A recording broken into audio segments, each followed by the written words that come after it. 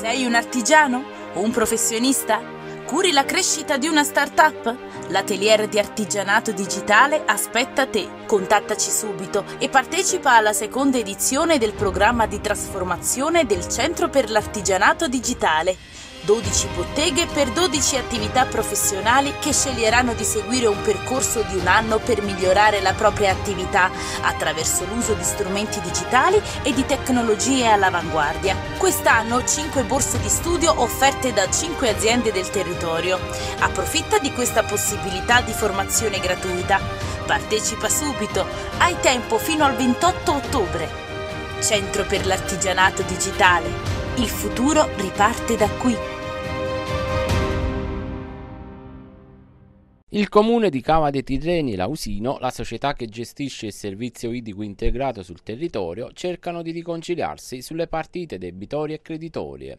Infatti, la verifica dei crediti e debiti reciproci al 31 dicembre 2008 evidenzia un disallineamento tra quanto risulta alla contabilità del comune di Cava dei Tirreni, dalla quale emerge un credito vantato dall'ente di poco inferiore a 32.000 euro, e quanto risulta invece dalla contabilità di Ausino, poiché la società sostiene che il comune metelliano è debitore nei suoi confronti di poco più di 443.000 euro. Il comune e la società già da diverse settimane hanno avviato delle trattative finalizzate alla riconciliazione delle reciproche partite debitorie e creditorie, anche mediante la ricognizione analitica di tutte le voci che costituiscono le reciproche pretese. Dopo una serie di incontri chiarificatori, il debito del comune nei confronti di Ausino sarebbe di 37.000 euro. Tuttavia, resta un disallineamento tra le rispettive partite contabili relativamente a due crediti vantati dal comune ma contestati dall'Ausino. Nello specifico si tratta dei canoni di fitto del piano seminterrato dell'ex circoscrizione di Pregiato per il periodo settembre 2013-dicembre 2018 per 194.000 euro e i lavori in via 25 luglio, eseguiti in danno dal comune per 86.000 euro.